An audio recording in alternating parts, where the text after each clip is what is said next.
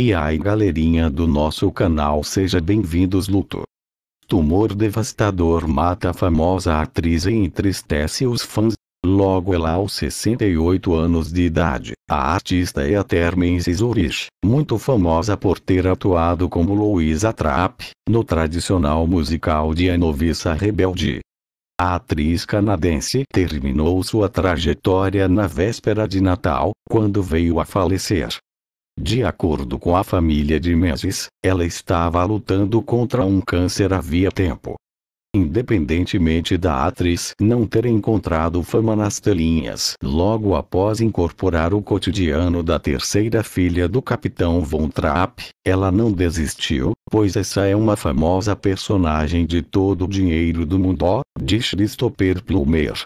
Esse musical foi um tremendo sucesso no mundo todo e ganhou cinco troféus do Oscar. A atriz continuou seguindo sua trajetória nas telinhas, a atriz é a Termensis Urich, conhecida por interpretar Louisa Von Trapp no clássico A Noviça Rebelde 1965, morreu neste domingo, 24, aos 68 anos, informou nesta segunda, 25, seu filho Ryan Urich. A Ter havia sido diagnosticada com um tumor cerebral há quatro semanas, segundo o site TMZ.